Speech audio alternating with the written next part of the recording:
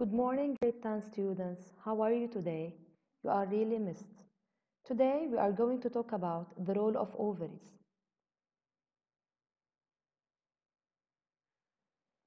In order to answer the question, which is, what is the role of ovaries?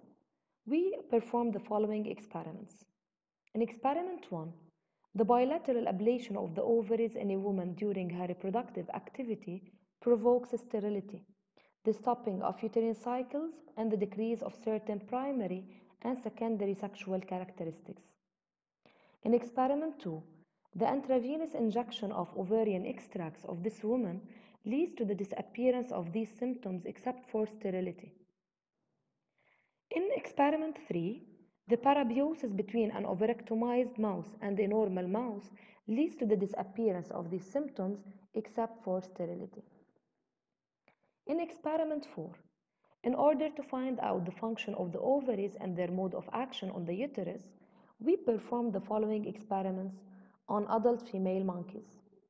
In case 1, where the monkeys are having the ovaries intact, there is no cyclic development of the uterus. However, the bilateral ovarectomy of the ovaries leads to the stop of uterine development.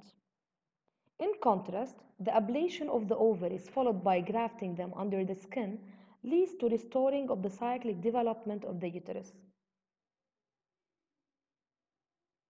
The overall conclusions. Ovaries maintain the female secondary sexual characteristics. They produce an ovum in a cyclic way. They produce two types of hormones, estrogen and progesterone, which are responsible for the maturation of the Graafian follicle or the future ovum, for ovulation, menstruation, and maintenance of pregnancy in the early weeks of gestation. Finally, hope you have a great day and see you soon.